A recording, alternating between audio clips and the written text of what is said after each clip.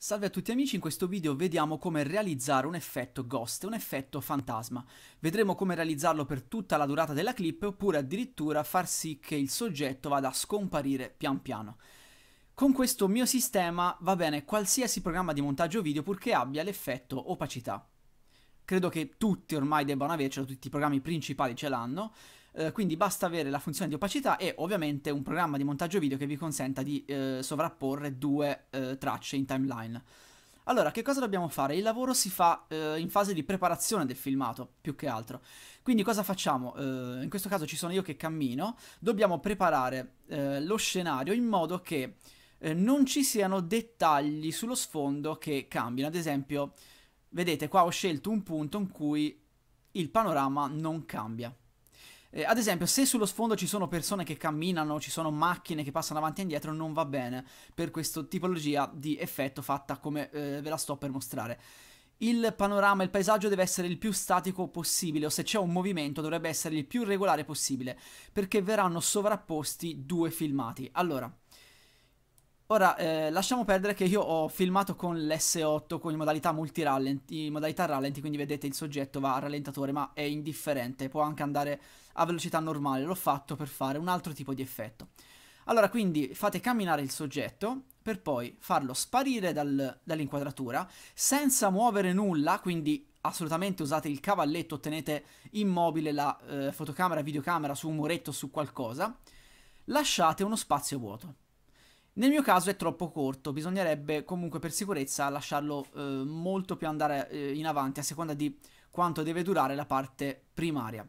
In questo caso però mi va bene. Allora, quindi cosa facciamo in fase di post? Eh, produzione. Allora, mettiamo il filmato in timeline e quando usciamo dallo schermo facciamo taglia. Ecco qua. Tagliamo.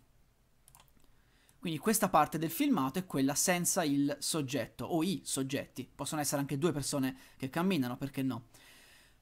Cosa facciamo? Portiamo sopra l'altra parte, portiamo sotto l'altra. Ecco perché vi dicevo che è meglio utilizzare eh, una porzione di filmato più lunga dopo che eh, siamo usciti dall'inquadratura. Nel mio caso è corta, però va bene, facciamo che a me basta tagliare il filmato da qui in poi, quindi taglio così, da qui fino qua. Tagliamo, quindi in questo caso la parte eh, inferiore è più lunga e va bene, deve essere uguale o più lunga. Allora, eh, in questo caso la faccio aderire, quindi che cosa succede? Semplicemente portando appunto sotto la parte dove non c'è il soggetto o i soggetti nell'inquadratura, la portiamo qui, andiamo sopra e semplicemente ritocchiamo l'opacità, tutto là.